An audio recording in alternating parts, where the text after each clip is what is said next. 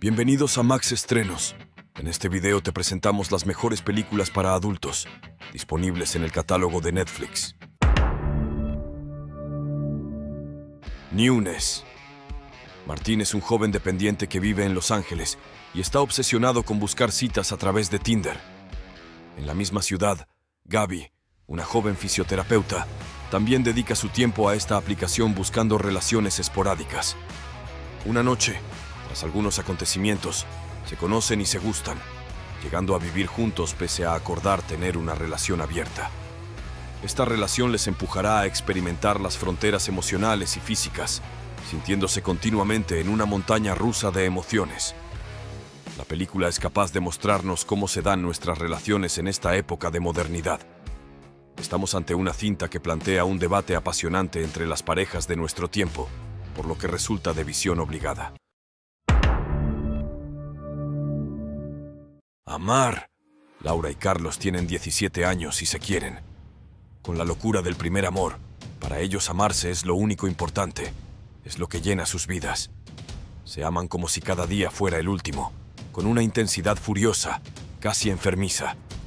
Incluso Carlos fabricará dos máscaras de gas unidas por un tubo para que puedan respirarse el uno al otro.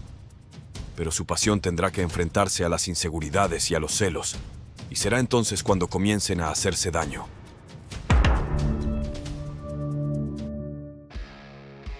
Oh, Ramona. En esta película Andrei tiene 16 años y es un chico inseguro. Está colado por su sensual pero distante compañera de clase, Ramona. Claro que todo cambia cuando conoce a la espectacular recepcionista de un hotel llamada Nemona. La película está contada de una manera muy original, donde se combina la historia real con la fantasía del joven.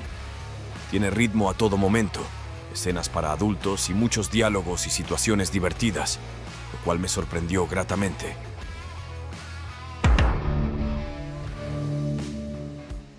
Elisa y Marcela. En esta película dos mujeres se conocen en la escuela donde trabajan. Lo que comienza como una gran amistad termina en una relación amorosa que tienen que vivir a escondidas.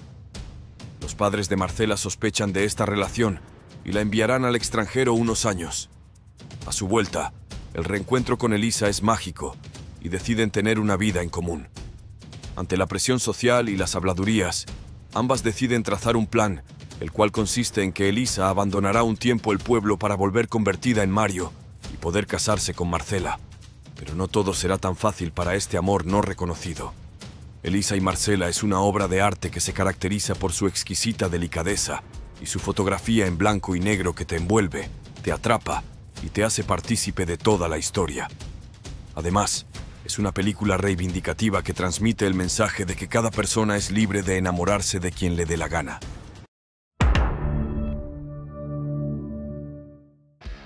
Doc Butter. Esta película cuenta la historia de dos mujeres insatisfechas con sus vidas que se conocen y llegan a un pacto el cual consiste en pasar juntas 24 horas consecutivas para explorar mutuamente su intimidad de una manera distinta.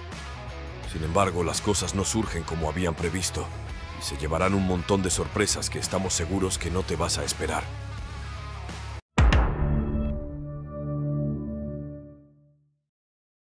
Contigo a muerte. Es una obra de drama, romance y thriller que cuenta la historia de Rei Nagasawa, una veinteañera, y Nanae Shinoda, que fue compañera de clase suya y ahora es víctima de malos tratos brutales por parte de su marido.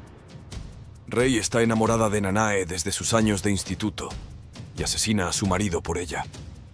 Nanae solo siente repulsión y miedo hacia Rei por haber llegado tan lejos, pero esta está dispuesta a todo con tal de salvar a Nanae.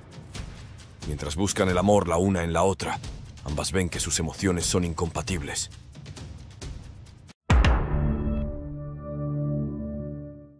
Perversa adicción.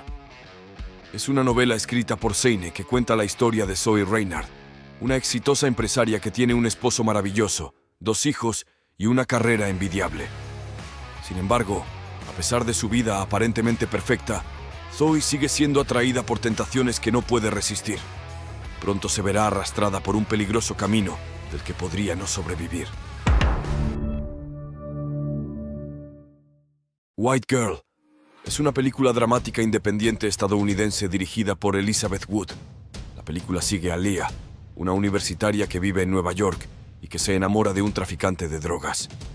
Leah se sumerge en el mundo de las drogas y la fiesta, pero cuando su novio es arrestado, ella hace todo lo posible para sacarlo de la cárcel.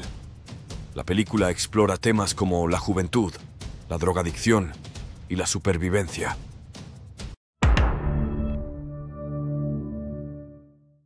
Joven y alocada. Es una película chilena dirigida por Mariali Rivas. La película cuenta la historia de Daniela, una chica de 17 años criada en el seno de una conservadora familia evangélica.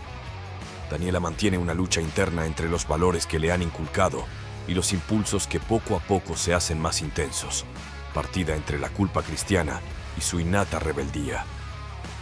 Daniela vive una traumática noche de excesos que le traerá el castigo de sus padres y su propio cuestionamiento existencial. Sin embargo, aparecerá un nuevo obstáculo, la irrupción de su primer sentimiento hacia una pareja. Dry Martina.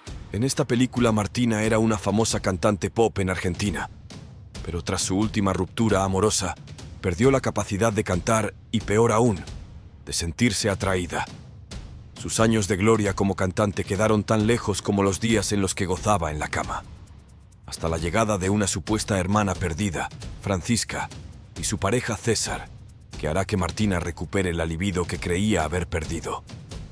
La ex cantante decidirá entonces viajar a Chile para emprender un rumbo de redescubrimiento personal, profesional y familiar. 365 DNI Máximo Torricelli es un joven jefe poderoso y miembro de una poderosa familia mafiosa en Sicilia. Laura Biel es una directora de ventas exitosa en su vida laboral, pero un desastre en lo personal, tratando de salvar su relación.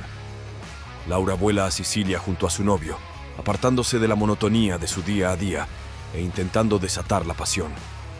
Sin embargo, en el camino de la joven se cruzará Máximo Torricelli, quien la secuestrará durante 365 días para que se enamore de él durante ese periodo de tiempo.